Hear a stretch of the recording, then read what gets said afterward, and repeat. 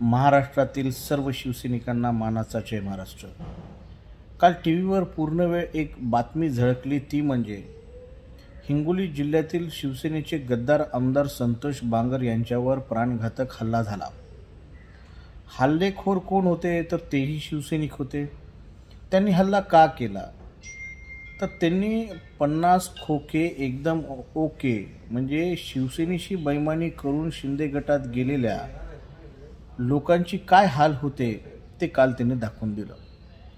संतोष बांगर यांच्या गाडीच्या समोर त्यांचा संरक्षणार्थ पोलीस प्रशासनाची गाडी होती. नंतर संतोष बांगर आणि त्यांच्या पाठीमागे त्यांच्या कार्यकर्त्यांची गाडी होती. हा हल्ला करणाऱ्या शिवसैनिकांनी त्यांच्यावर हल्ला करणाऱ्या शिवसैनिकांना सर्वप्रथम मानाचा मुजरा. त्यांना काहीतरी ते असं काहीतरी वाजवत होते. त्यांना काहीतरी संतोष बांगर यांना बोलायचं होतं.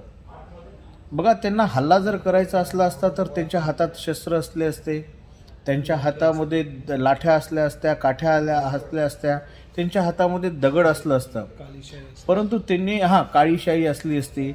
परंतु त्यांनी तो फक्त टच केलं त्यांनी. त्यांनी तिथे असं थाप मारलं.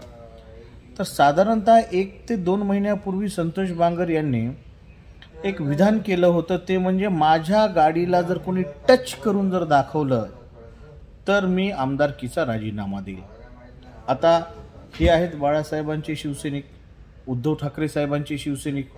त्यांना जर तुम्ही खुले आव्हान जर दिला तर ते आव्हान तर शिवसैनिक स्वीकारणारच ना.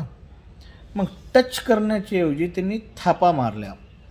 त्यांनी त्या गा गा त्यांनी तू काच खाली कर म्हणून त्यांनी आव्हान देत होते. तुझ्याशी बोलायचं आहे म्हणून ते आव्हान देत होते. तर आता हे आव्हान देत असताना संतोष बांगर यांना घाबरायची गरज नव्हती. संतोष बांगर हे म्हणत होते की गाडीमध्ये माझी बहीण होती माझी पत्नी होती तुमची बहीण तुमची पत्नी आमच्या बहिणी समान आहे. त्यामुळे शिवसैनिक तुमच्या बहिणीचं तुमच्या पत्नीचं रक्षण करणारे शिवसैनिक आहे त्यामुळे शिवसैनिकांच्या विरुद्ध तुम्ही खोट्या पद्धतीनं चुकीच्या पद्धतीनं बयानबाजी करू नका संतोषजी बांगर साहेब. आता राहिला प्रश्न आव्हान कोण दिलं होतं? तुम्ही दिलं होतं. आणि तुम्ही म्हटला होतात की गाडीला टच करून दाखवा. आता तुम्ही जर गाडीमध्ये बहिणी ठेवत असाल तुमची ब- पत्नी ठेवत असाल म्हणजे महिलांचा आधार गाडीमध्ये ठेवून जर महाराष्ट्रात फिरणार असाल आणि जर कोणी तुमच्या गाडीला टच केलं तर ते आव्हान नाही प्रति आव्हान नाही अशा पद्धतीचं जर रडकुंडीचा जाव रडीचा डाव जर तुम्ही खेळत असाल तर याला काही अर्थ नाही.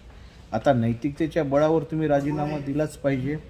जोपर्यंत तुम्ही राजीनामा देणार नाही तोपर्यंत तुम्हाला महाराष्ट्र जे आहे तुम्हाला गद्दार म्हणत राहणार.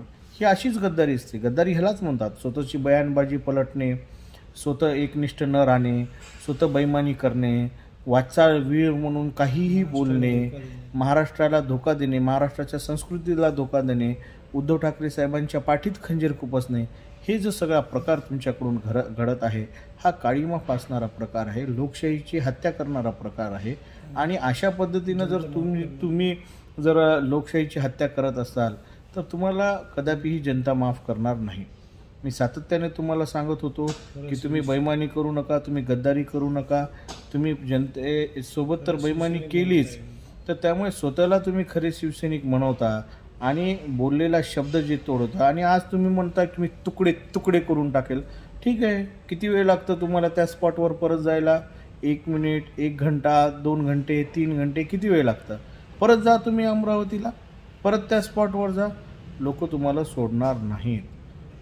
लोक पेटलेले आहेत शिवसैनिक पेटलेले आहेत. आता हिंमत असेल तर राजीनामा देऊन दाखवा. नाही तर तुम्ही बांगड्या घातलेल्या आहेत. हे मात्र नक्की. जय महाराष्ट्र प्रवीण जेठेवाड शिवसेना महाराष्ट्र राज्य.